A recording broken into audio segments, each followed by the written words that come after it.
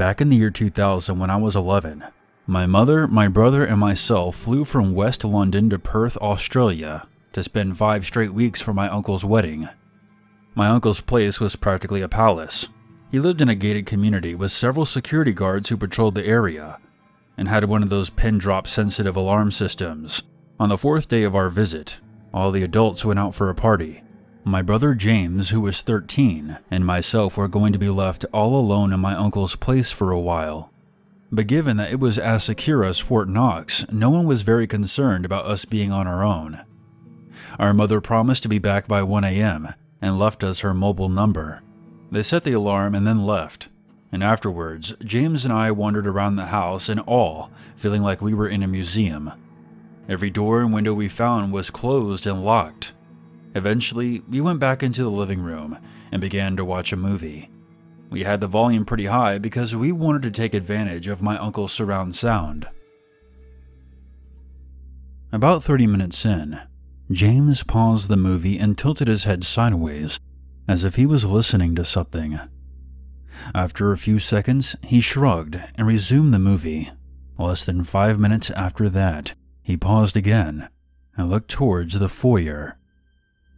James and I were in the living room, and the wall that separated us from the foyer had this rectangular decorative opening with cast iron bars inside it.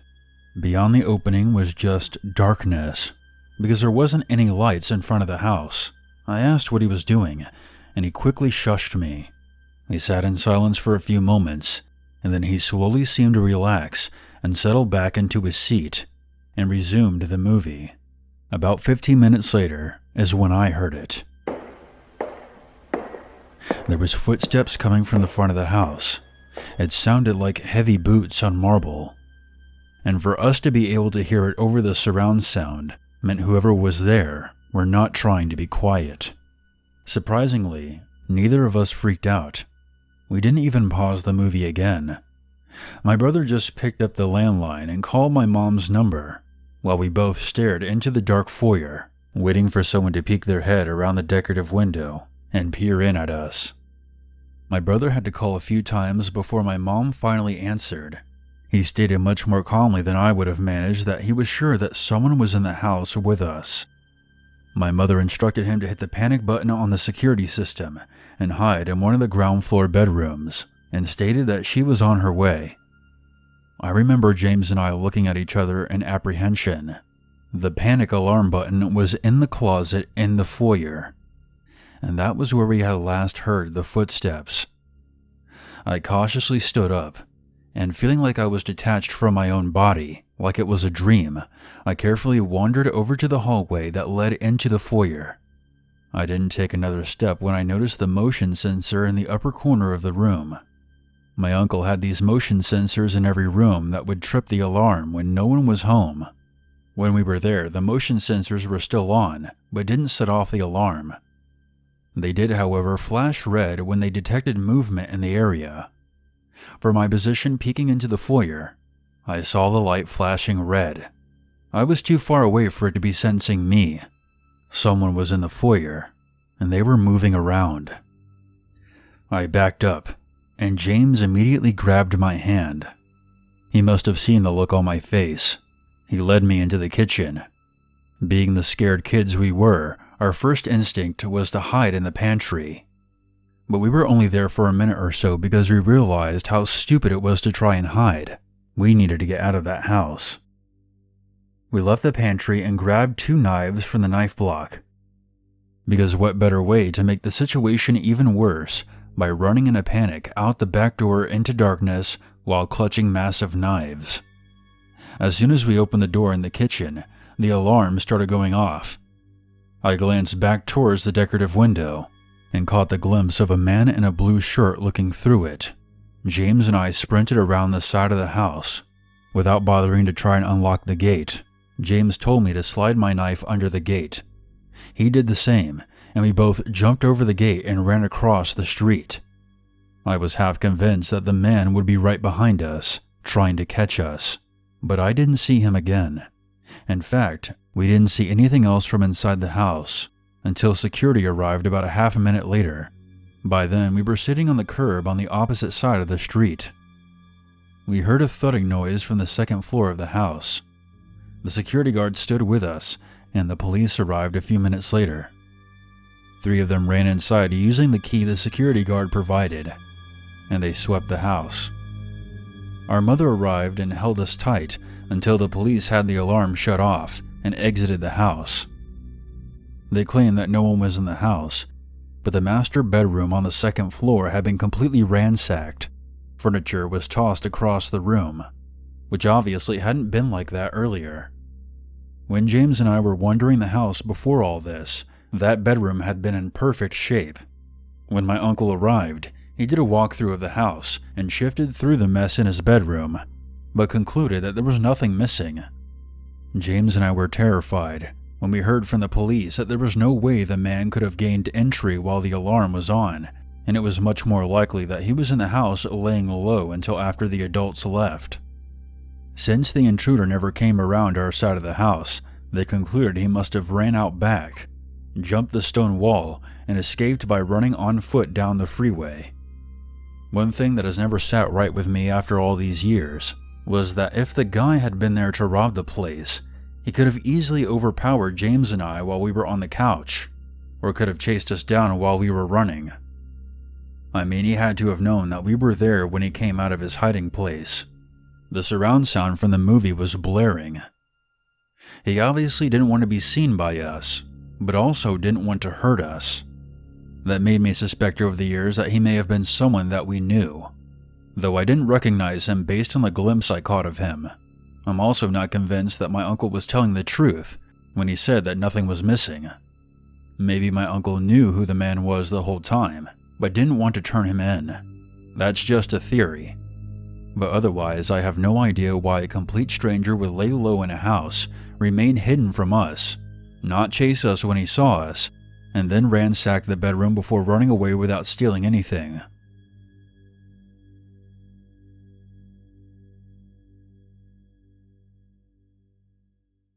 Apologies in advance if I mispronounce any of the names in this next story.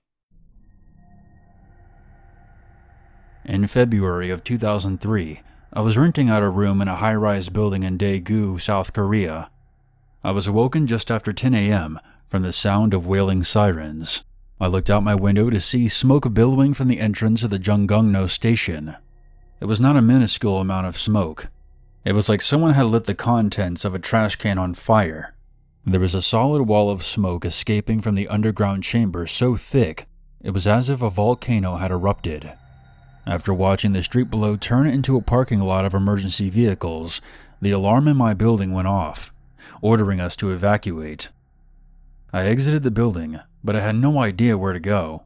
The smoke was so incredibly thick, and every direction was packed with people trying to get away on foot. I ducked back into the building and crouched in the entryway, keeping my face low to the ground and breathing the fresh air being pumped through the air conditioning vents. I stayed there for a good few hours, unwilling to venture out into the street and risk being trampled or suffocated. Yet I was too afraid to move deeper into the building in case it caught fire. I had no idea what was going on. I suspected a bomb had gone off. Without access to a phone, all I could do was wait, a thousand questions running through my head, with the hope that this nightmare would end. The smoke eventually cleared, but when it did, the screaming outside only intensified. I wandered out into the street in a daze, firefighters with oxygen masks on, frantically gesturing at each other, and now I had washed up upon the shores of Pompeii, directly after the eruption. And I just knew that I would never look at my life the same way again. It wasn't until nearly a week later that I learned the full story. A 56 year old unemployed man named Kim Dae Han had boarded a train at Daegu Station earlier that morning with the intent to set the train on fire and burn the passengers inside alive. Han suffered from depression as a result of a stroke he had two years prior, which had left him partially paralyzed. He later told police he wished he had taken his own life, but in a manner that he would take hundreds with him so that his pain would be remembered. He was spotted on camera carrying a duffel bag into the train station, which contained cartons of flammable liquid. Once the train was in motion, he opened the bag and began pouring the liquid out. When other passengers saw him fiddling with his lighter, they rushed him in an attempt to stop him, which ultimately failed. Fire erupted in the train car. When the doors opened at the next station, Han and several other passengers managed to escape. Some were still on fire. Once the train stopped, the fire quickly began to spread across all six cars. There was so much smoke down in the platform that none of the cameras could see what exactly was happening. Another train heading in the opposite direction, towards the platform, was warned to proceed with caution, but was not instructed to stop. Upon arriving at the Jungangno station, the train came to a halt right next to the burning subway cars. The conductor was not sure what to do. The power failed at the station after a minute, which stopped the train from leaving, and while the conductor frantically tried to call for help over his radio, he eventually panicked and abandoned the train, leaving the passengers trapped inside. There were no fire extinguishers on board, and there was no water sprinklers on the subway platforms, and the smoke was too thick for the emergency responders to reach the trains for several hours. It was still early morning rush hour. Over 190 people, men, women, and children, all died. Kim Dae Han was eventually found later in the hospital, where he was being treated for his burns. On August 5th of 2003, he was sentenced to life in prison, where he died just over a year later on August 31st, 2004. The conductor of the second train was arrested for criminal negligence, as were six other members of the Metropolitan Subway Corporation. And that's my story of how I was practically on top of one of the worst mass murders in history. I left the city soon after, and have since tried to cherish every day as another gift, abundant with new possibilities.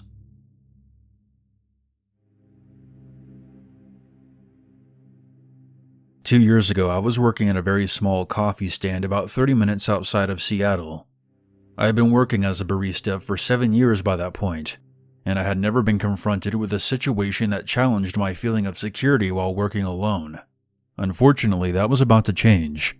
On Thursday, November 7th, my birthday, at 6:45 p.m., I was starting to close the stand like normal. It was very rare that I would have customers come through the stand past 6:30, and because of this, I felt myself jump slightly when I looked up from the espresso machine I was cleaning to see a man standing behind the glass of the closed window. Adding to my alarm was the fact that he made no noise whatsoever and made no attempt to grab my attention once he got there. Instead, he stood behind the window in complete silence, his mouth awkwardly fixed into an unnatural looking smile. At first, I wasn't even sure if he was a customer at all, considering the idea that he may have been part of a large group of transients and homeless people that were known to reside in that area who would occasionally come up to the stand and ask for free coffee or water. For safety reasons, I typically refrain from serving walk up customers after dusk, but because I had made eye contact with him, the rules of good customer service required that I at least acknowledge the fact that he was there. So, reluctantly, I decided to serve him. He introduced himself as Ivan. He looked to be around my age, seemed reasonably well kept in the sense his clothing and overall appearance looked clean, and despite a slight Eastern European accent, his English was very good. His eyes, however, were utterly unnerving. His gaze made my stomach feel uneasy. Immediately, my intuition was alarming me that something about this individual was very wrong. Every red flag possible was beginning to show in my mind, I could not shake the deep, almost overwhelming sense of darkness that I felt coming from this person. There was an evil in him that I could not ignore. I would soon find out exactly why I was feeling this way. After greeting him as politely as I could manage, despite my growing hesitations, I began preparing my machine to make him a drink.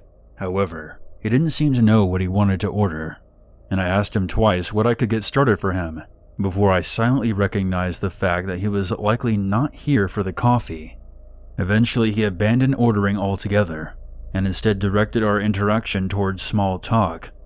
He asked me where I was from and how long I had been working at this stand, I answered each of his questions with short, abrupt answers, hoping that my tone and clear lack of engagement would convey the fact that I wasn't interested in continuing this conversation, since he was not a paying customer, and because I was about to close. After a long pause, he asks, So do you have boyfriend? Annoyed, I replied curtly, No. At this point, I was ready to end our interaction, so I told him that I needed to finish closing up so I could go home. Upon hearing this, he walked away from the window and mentioned that he was looking forward to seeing me again very soon. After a minute or so passed, he was out of sight, but the creepy aura lingered. My gut told me that he wasn't far away. I just knew that he was watching me from somewhere beyond my line of vision. Cautiously, I closed up the stand, locked the doors and windows, and walked to my car and drove home. By the following day, I had forgotten all about the encounter and went to work as usual. 7 p.m. rolls around once again, and I'm just about to end my shift and close the stand. I'm nearly finished when I catch a glimpse of something. I turn my head towards the opposite side of the stand, and there, in full view of both me and the security cameras, stood the guy from yesterday. My stomach sank, and I was immediately very aware of how cold it was inside of that stand. He smiled at me with a predatory like grin, waved, and then proceeded to pull open the closed window in front of him. Even though he didn't present himself aggressively, there was something incredibly threatening about him choosing to do that. He left me feeling hopelessly unsafe in that moment. I cleared my throat and told him as firmly as possible that I was off the clock and I wouldn't be able to make anything for him as my machine has already been cleaned and my register was closed out for the day. He widened his smile and replied, It's okay. I didn't come here for the coffee. I came here for you. Upon hearing this, I noticed a shift in the energy building between us. The fear that I had previously been overcome with had now made a sudden and jolting transition into a redlining level of irritation. I don't care what you came here for. I told him as sternly as I could manage. It's going to have to wait till tomorrow, because I am fucking closed. His smile disappeared. His eyes became even more focused on me, and his gaze intensified. Then I see you tomorrow, he said in a way that felt less like a statement and more like a threat. I swallowed hard, and once he was out of sight, I rushed to the window and slammed it shut, throwing the lock into place. Again, despite not being able to visually confirm his presence, I knew that he was still there, and I could feel his eyes fixated on me. I left the stand quickly and got into my car and drove home. This time, however, he remained heavily on my mind for the rest of the night, robbing me entirely of any sleep at all. The following morning was a Saturday, so as per usual, I got up insanely early for work at 5 a.m. I arrived at the stand 10 minutes to 5. And for the first few hours of my shift, everything was as it would normally be. 8:30 rolls around. As I was admiring the weather outside, I noticed a familiar truck approaching as it neared closer, I recognized it as my ex boyfriend, Jonathan. I found this exceptionally odd, as he and I were currently not on very friendly terms, due to his cheating that ended our relationship about six months earlier. He pulled up slowly to the edge of the open window, and I asked him skeptically what he was doing here. I'm sure I'm probably not someone that you were wanting to see today, but I just wanted to come by and wish you a happy belated birthday, and to see how you were doing. Just as I was about to half heartedly thank him for the birthday wishes, I noticed someone about a hundred yards away, approaching the stand on foot. It was Ivan. I whispered quickly to Jonathan that I needed him to stay here with me, even if another customer pulled in for service, until the guy who had just walked up was gone. I could tell he was able to register the fear in my eyes, and he agreed to stay. I brought as much focus into my demeanor as I could manage, and turned my face to the window on the opposite side of the stand, just as Ivan approached it. I walked slowly over to him and noticed right away that he had been crying. His eyes were bloodshot. A few tears streaked slowly down his cheeks. Disregarding his obvious emotional state, I informed him that he needed to leave, as I was not going to serve him. Before my statement reached its conclusion, however, he cut off my words abruptly. I don't need this anymore. You can have it. As he said this, he threw his Russian passport down on the counter in front of me. Puzzled, I picked it up. With a mix of both caution and disinterest, and I asked him why he was no longer going to need it. I just won't. I allowed his words to hang between us, while I attempted to make sense in my mind of what a gesture like this might have meant. Before I felt a strong bite of dread inside my chest, the fear crept slowly into my throat before finally escaping past my lips in an audible gasp, bringing Ivan the confirmation he had been hoping for once I understood what was about to happen here. No guest from a foreign country would be willing to discard or abandon their passport unless they intended to see the completion of an act of absolute finality. He wasn't planning on returning to Russia. In an effort to sever the non-verbal conversation taking place, I glanced over my shoulder to Jonathan, who now had a what the fuck was going on look on his face. In that instant, he recognized the desperate pleading fear in my eyes.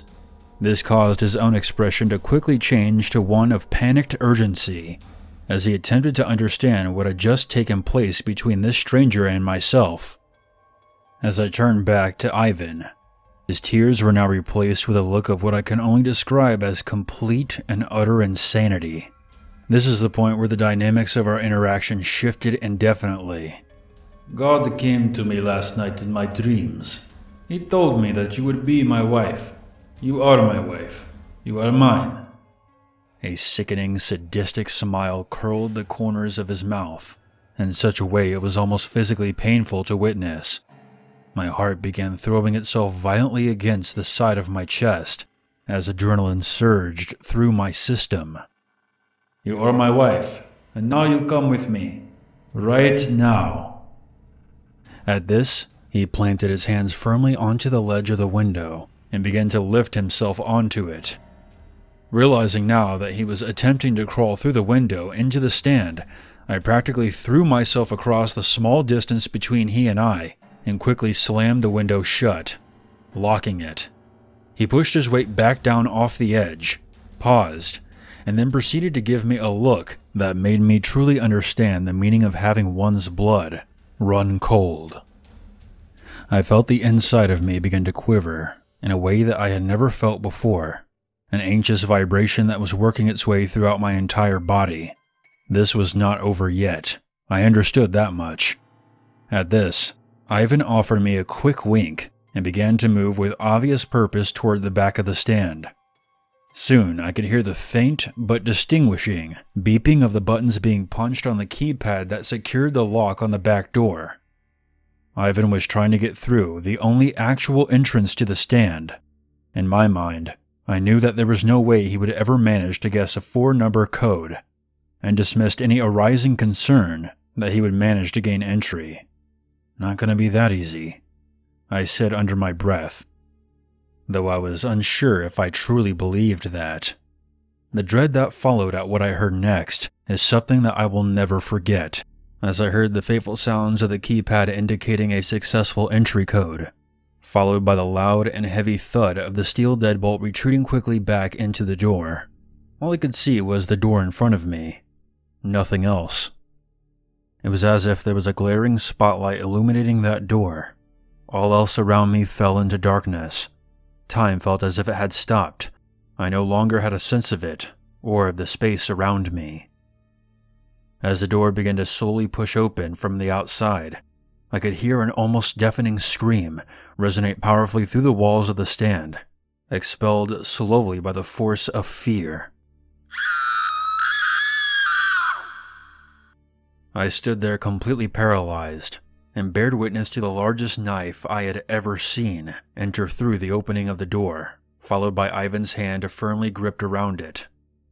It was only then that I realized that the scream I was hearing was my own as Ivan passed the remainder of his body through the opening of the back door and into the stand. Before I continue any further, let me just say until you personally experience a situation that demands you to access your fight or flight response, you have no idea what that response is going to ultimately be.